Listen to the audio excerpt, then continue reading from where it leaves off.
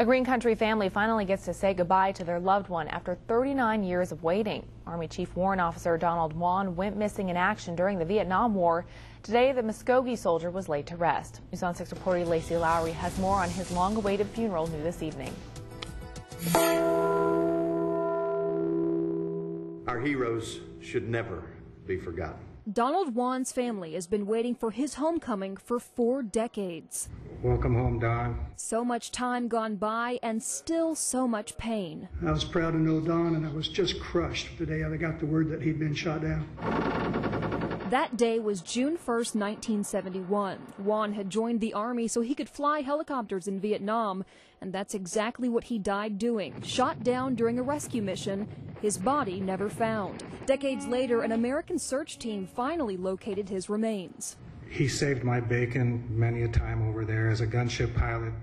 He was the guy that was making sure that I was safe when I was down in those holes. So he cared about us. We care about him. He was the go-to guy. And when you start to think about it right now, he still is. You know, we know where he's at. We know he's home, and we know we're going to see him again.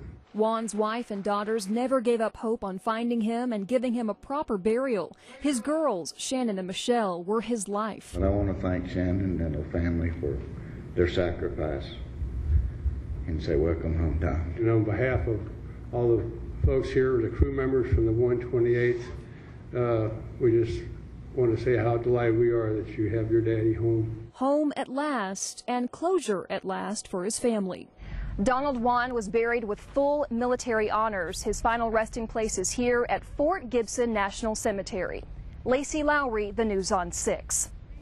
Wann is survived by his wife, brother, two daughters, and numerous grandchildren and great-grandchildren who now know the final chapter of the grandfather they never got to meet.